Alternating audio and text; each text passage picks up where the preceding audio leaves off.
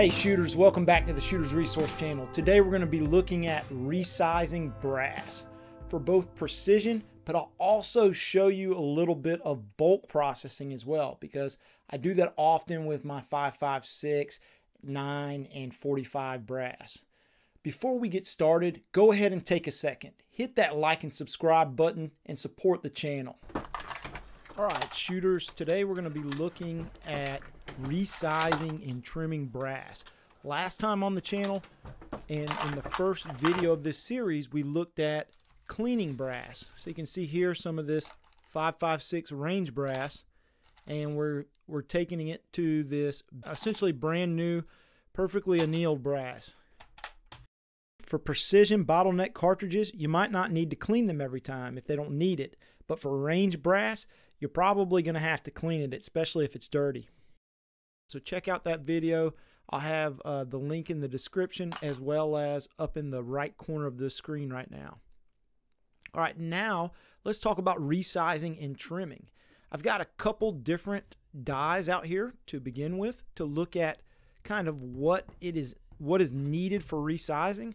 Now, I've got as mentioned in the first video, you know, somewhere in the neighborhood of about 15 years experience reloading and in that time, I've really used four different brands of dies. I've used Lee Reloading, which is probably the least costly option, RCBS, which is probably my second favorite, Redding, which is my most preferred, especially for precision cartridges. Redding's Type S bushing die is one of the most popular ones used by precision and bench rest shooters.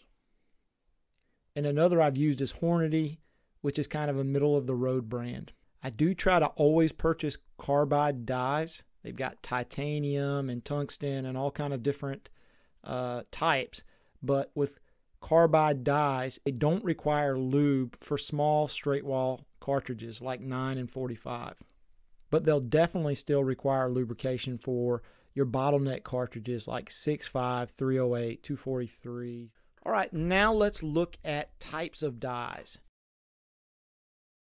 Right, when we look at resizing dies, full length sizing is the way to go. There will be people out there that tell you neck size your brass, fire form your cartridges, and they're going to fit perfectly to your chamber. But all of the professionals, whether it's extreme long range shooting out past two miles, it's F class shooting little tiny groups at 600 or 1,000 yards, or it's PRS, and you'll find that all the professionals are using full length sized brass. Now they're not sizing it down to SAAMI specs. They're taking a few thousandths off all the dimensions. That way it reliably fits and they can cycle the bolts really easy. You're not stressing your components, you're not stressing your equipment. Now there are two main types of full length sizing. There's the traditional expander ball, which is really good for mixed brass and range pickups I use it for my 556 and 223 because it uses a small little ball to expand the interior diameter of the neck.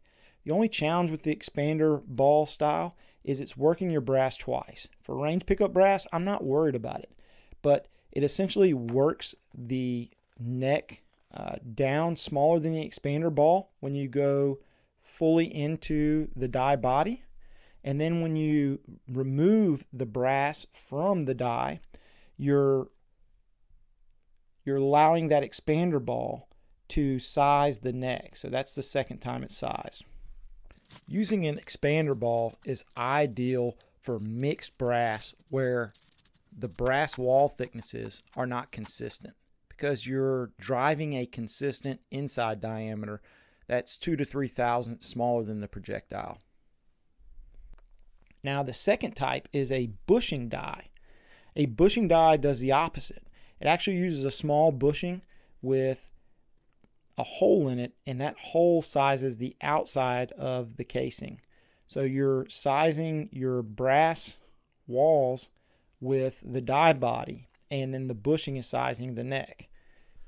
Now, Redding does provide a stem with an expander ball and depriming pin as well as a sleeve for the depriming pin if you don't want to expand your brass via expander ball. I go ahead and remove the stem completely from the equation and just use the bushing. And this is what a lot of professionals are using to get really good accuracy. So it's really consistent, but it also only works your brass once. So you're moving the brass less because you're only sizing uh, the neck at the full extent into the die body. When it comes to neck diameter, to ensure proper neck tension, I always want my inside diameter of my neck to be about two to three thousandths smaller than my projectile diameter.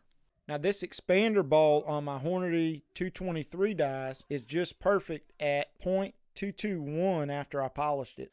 And the bushing die from Redding, they sell separate bushings that can be had in various sizes in 1,000th increments. And for my bushing die from Redding, I'm using their 291 bushing, but they offer them in 1,000th increments. So you can select the perfect size for the brass that you're using. One trick is if you've already got a loaded cartridge is to use your calipers and take a OD dimension on your brass casing. And then all you've got to do is subtract either two to three thousandths from that and go ahead and order your bushing die from Redding. The last tool for resizing is an expanding die. This is really good for getting very consistent neck sizing. So if you really want to get neck tension uh, perfect, there's a lot of die makers like Sinclair or uh, most of your major die makers will make expanding dies. You will need them for straight wall cartridges like 9, 45, 10 millimeter, 40 and uh, the main thing is, is it's going to flare the edge of that cartridge and allow you to see the projectile uh, much easier. All right, welcome back to the reloading bench. Uh, before we get started, let's go over just a few basics. First, I typically try to wear gloves while I'm reloading. This stuff's pretty nasty, it can get all over your hands. Wearing gloves is always a good idea for safe practice. All right, some other things to talk about. Before I uh, start reloading a big batch, it's always a good idea to clean your dies. It will help with the longevity of your dies. It will make sure that there's nothing in there that might add to inconsistency between one batch of brass and the next. All right, now I'm going to show you a few things that I do for reloading precision. I'm reloading on a Hornady lock and load press. This is a fully progressive press.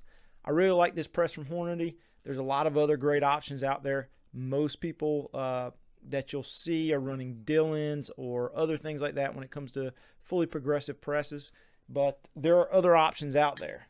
What I do like about this Hornady is it's got this large cylinder here and it's very stable. I find that when I'm resizing brass, I can keep concentricity and dimensions very consistent with this press. Plus, it's got plenty of leverage for resizing. So let's look at how we get started with a new set of 6.5 Creedmoor dies. Now these dies aren't new to me, but I'm just going to show you what I'm going to do. What I'll normally do is I'll start by raising the shell holder on the press all the way up. Then I'll screw in my die. Each one of these dies are going to have a collar and a lot of collars are going to have a lock nut on there, which is just a little Allen key. This one from Redding has one. It's already locked in on where I need to be on this die. Now that's that's a great starting point. I'm not going to always just trust that blindly. What I'm going to do is is I'm going to use a couple tools to validate that I am bumping my shoulders back two thousandths, which is just pretty standard. It's what's what most shooters do and there are mixed opinions on you know how far to bump them back but I bump mine back two thousandths so what I want to do is I'm going to take my calipers and I'm going to take the Hornady comparator tool. There's some other brands out there. I purchased the Hornady. It's worked really well for me. And what we're going to use it for right now is is I'm going to compare the shoulder of my brass from a fired cartridge. This casing has been fired six times it's been uh, annealed and now it's ready to be resized. So this is a fired cartridge. One thing to be cognizant of is if you do it and it has the primer, then you could be getting a reading off of the primer versus the uh, versus the bottom of the case. So let's go ahead and deprime a couple pieces of brass. This is my Lee decapping die that we talked about before.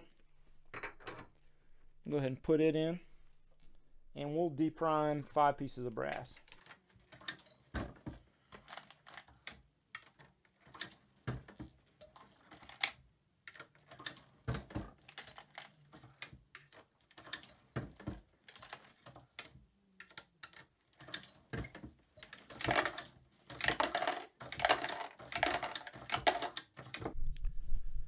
All right, now I've got the brass deprimed. Let's look at, and we'll set everything kind of over here. 1.385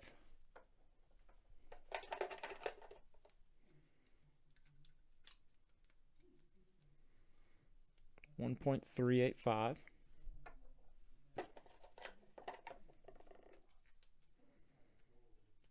1.38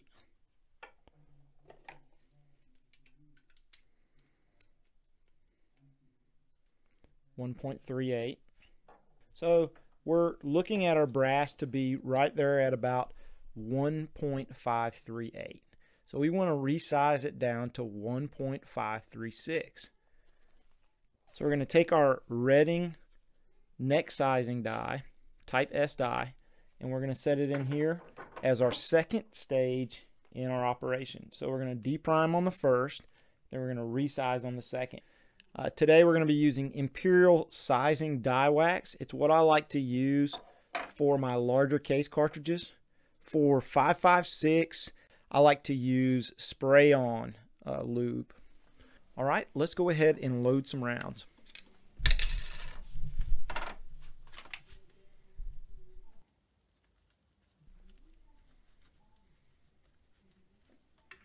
When you're resizing bottleneck cartridges, brass has a lot of spring back to it. So you always want to make sure to pause for a few seconds when the brass is fully seated into the die. This ensures that the brass retains the dimensions that you're trying to achieve.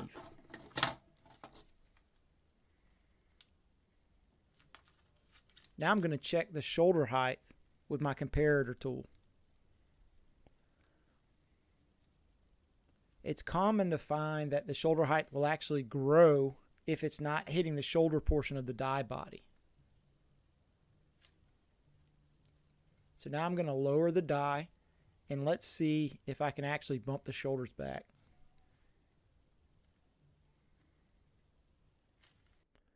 Don't be discouraged if this takes a few times.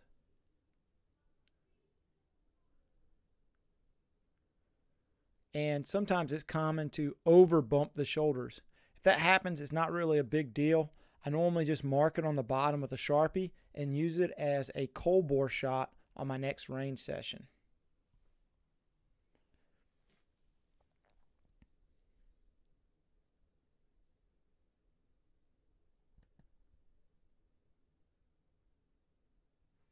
Right, perfect. I'm coming in right at 1.536, which is exactly two thousandths below my fired brass. And I was able to repeat it two cases in a row. Next, I want to check my first two cases on the Sinclair concentricity gauge. I'm looking to make sure that my concentricity from my neck to my case body is 3 thousandths or under to ensure that the resizing processes work properly. And you can see here that I'm just over a thousandth for both my cases.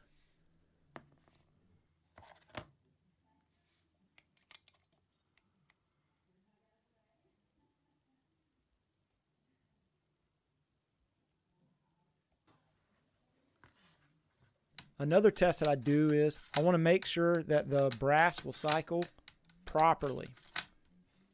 I'll check the bolt while the chamber is empty and then I'll insert my cases into the bolt and make sure that it takes no more effort to open and close. Both pieces of brass check out. Now we're ready to reload the rest.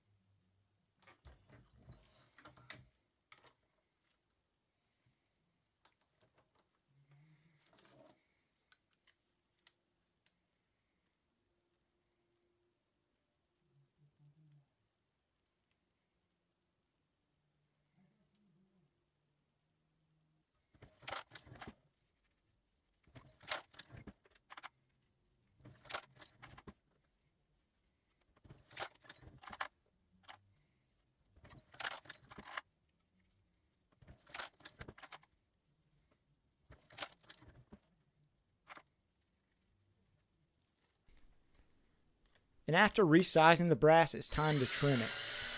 I use a Lee trimming tool that has a caliber specific stem that gives you a constant trim length.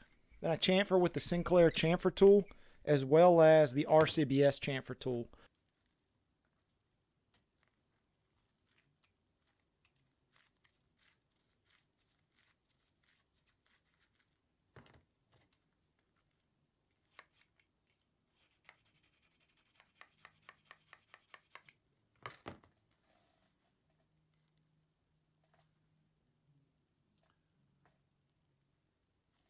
Now with bulk brass, I don't trim every piece of brass. What I'll do is I'll take my calipers and I'll find a piece of brass that I want to use as a max size piece of brass and then I'll quickly go through my batch of brass to see if any are longer than that max size that I've selected and then I'll just trim those.